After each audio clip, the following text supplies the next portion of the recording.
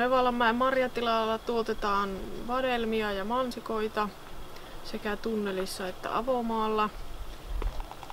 Ja kehitetään monenlaisia uusia keinoja tämän marjanviljelyn kannattavuuden parantamiseksi.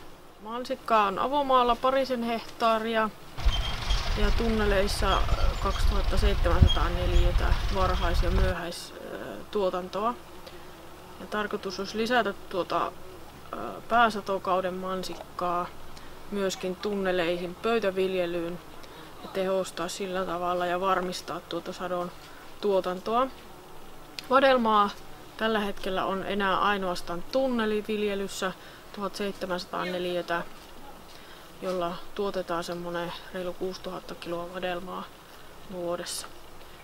Avomaa viljelyä ollaan vadelman osalta lopettelemassa.